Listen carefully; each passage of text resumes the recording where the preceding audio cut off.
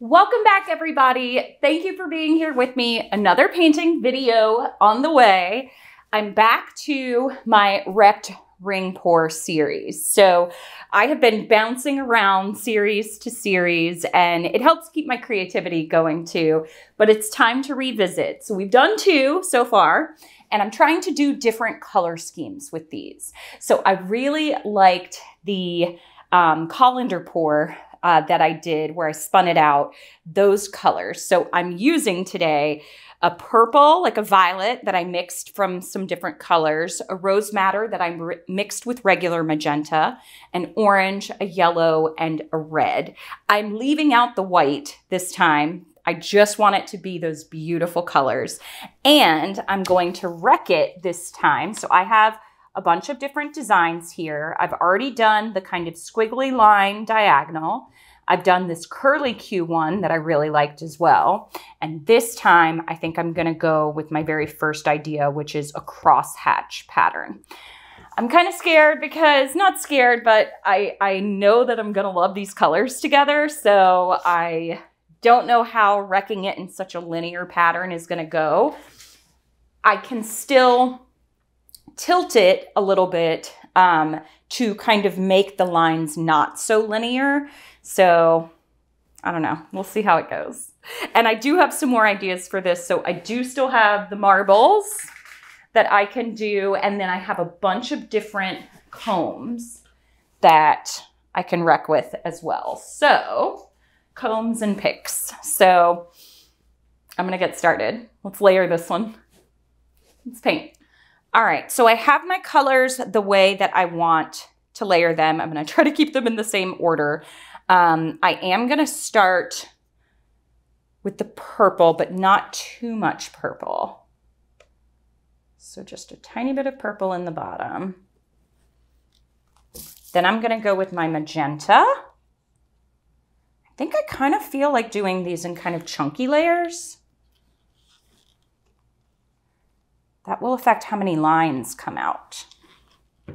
Now I've got my orange. I layered this way so that the purple and the yellow wouldn't be directly beside each other because I did use a, a yellow that has a little bit more of like a an undertone to it that would not react quite as well with the purple, but normally I like to use um, a yellow that is on like the the redder side, orangish side, um, instead of on the bluish kind of lemon yellow type side. So, all right, back to my beginnings.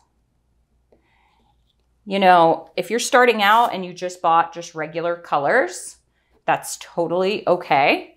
But as you start going, you start to realize that it's not that colors don't go together or that they mix to mud. It's different shades of them that don't go so well together.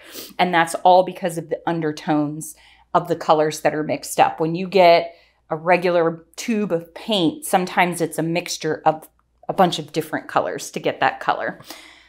Okay. There is so much that goes into color theory and composition, all of those things. And I do have an exciting project that I'm working on with Rinske Douna that I will be letting y'all know about soon. So stay tuned for that. Okay, here we go. Almost done. I think I'll be able to get in one more layer. I am kind of glad. I'm wondering if it was the right decision to leave out the white. I feel like it is, but we will see. Okay, I think I'll just have enough room. And you know what? I am going to have enough of these paints to do another kitchen sink pour with them. So I'm excited for that. I love those. Okay. I have my wrecking tool. I am going to continue using my skewer here for this one. Now I have to decide, look at this cup. How beautiful is that cup? But now I've got to decide where I want to pour this out of. I think I'm going to pour it out of the side. Or do I want to pour it out I think I'll pour it out at the side. All right, here we go.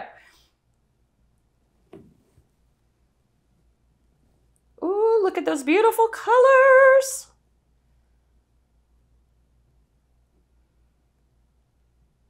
Oh my goodness, look at those colors. Now I do think I'm going to wreck all the way through this one. I'll see what my center comes out like. But I do think I'm going to wreck all the way through this. Oh, that is a pretty center. Look at those colors. Wow, wow, wow. All right, I do think I'm actually going to put a little bit of the purple around this side just to make sure that it stretches okay. And a little bit of the magenta around this side. Okay. Phew, okay. Get those colors off to the side. Oh, that is gonna be a pretty kitchen sink pour. Mm. All right. Oh, I almost spilled that. Okay. And then I'll give you a look inside the cup there. How pretty is that? Okay. And then one torch.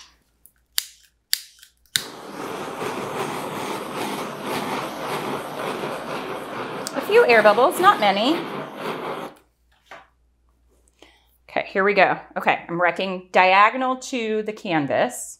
I'm gonna do some small lines.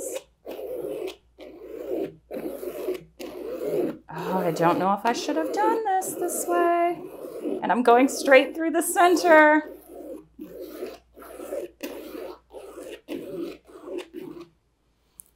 Okay, this looks really pretty as it is. I feel like I should stop here.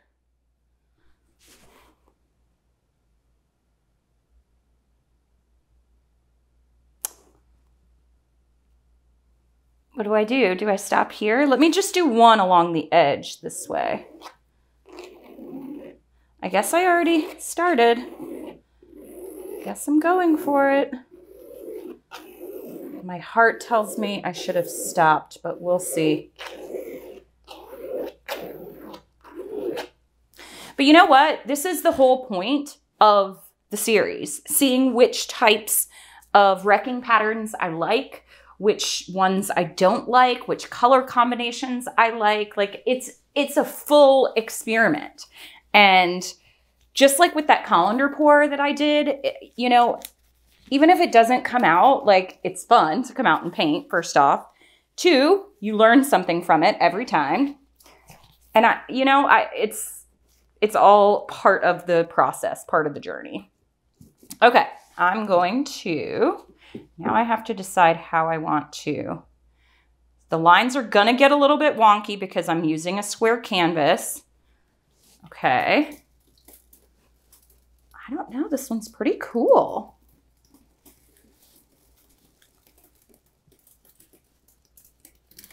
I am liking this way better than I thought I was going to like this. Bringing it back opening up that center a little bit and then bringing the design back to the center. Wait a minute. One, my lines stayed pretty straight. Two, I love the pattern. Three, I love the colors. I do wish I had had, and I always say this because I like critiquing my work afterwards. I do wish that purple carried on a little bit down there. Down here. But you know what? Nope, it's gorgeous. I'm not touching it. I'm not doing anything. I will torch, clean up my sides, and I'll show you. I'm so happy. These colors make me so happy. Okay, I'm going to take you in on the design and then I'll show you the center because I am so pleased with how the center came out. But the colors, I'm I'm very surprised. I thought I was not going to like swiping through it a second time, but look, the center kind of still stayed intact. The colors are so vibrant. Oh, super duper fun. I feel like having any blue in there would have just really taken away from this color palette. So I am so happy the way it is. All right, I'll show you how this one dries. I know I say it often,